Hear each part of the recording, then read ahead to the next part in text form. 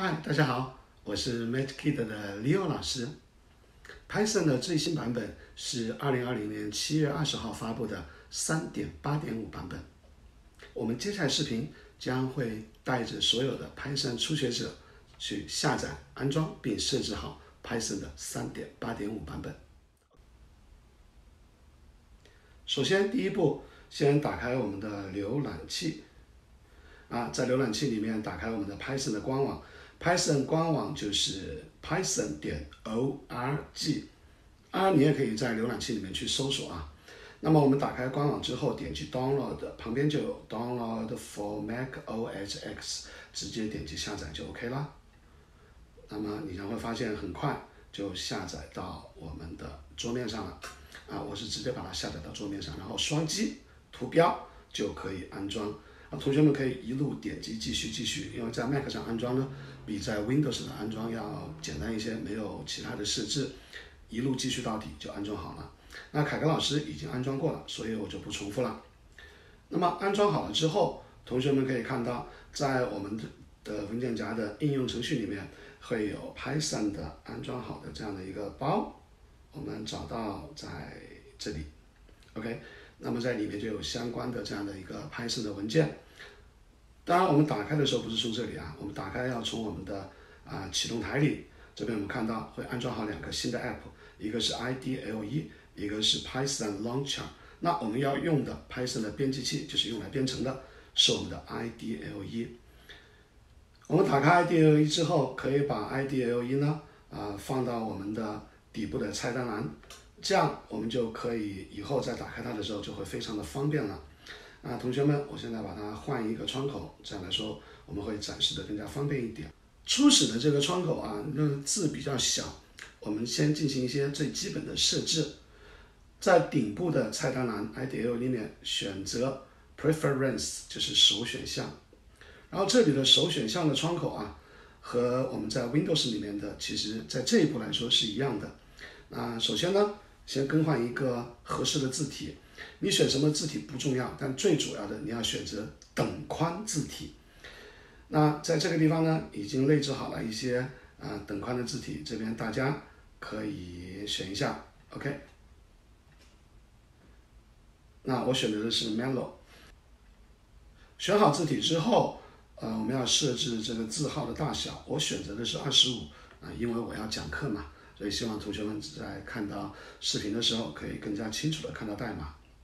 OK，效果不错。然后呢，再就是在 Highlight 里面选择主题，我比较喜欢深色的主题，所以我选择 IDLE Dark。在 General 里面呢，啊，因为我们初学不需要这么大的窗口，所以我们把窗口的尺寸可以调小一点，比如 Width 就是窗口的宽度，那我一般设置的是五十。啊，Height 呢？这边大家可以把 height 设置为，比方说，嗯，三十也可以了。height 就是高度，高度其实就是它的行数。好，点击 apply 最后点击 OK，关掉 IDLE 再重新打开。那么就是现在的话，我们就看到已经设置好了哈。但是现在这个窗口呢，只是一个单命令行窗口。所谓单命令行窗口的意思就是，它只能。一行一行的去输入命令，比方说我们输入 print hello world，哎，插了一个感叹号，OK，然后呢括号，这个地方同学们一定要注意了哈，那么一定需要的是在英文状态下的，不能是中文状态下的啊，所以我们在这边呢会有这样的一个切换。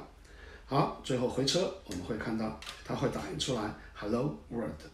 那么同时，这里既然是单命令行窗口，那肯定会有一个正式的编辑窗口。编辑窗口就是直接在 File 里面，我们点击 New File，或者用快捷键 Command 加 N 也可以啊，创建一个新的文件。啊，我们把窗口分成左右两边，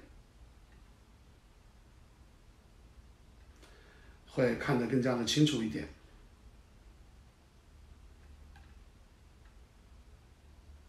好，OK，那么左边的呢是单命行窗口，右边就是我们编辑器的窗口。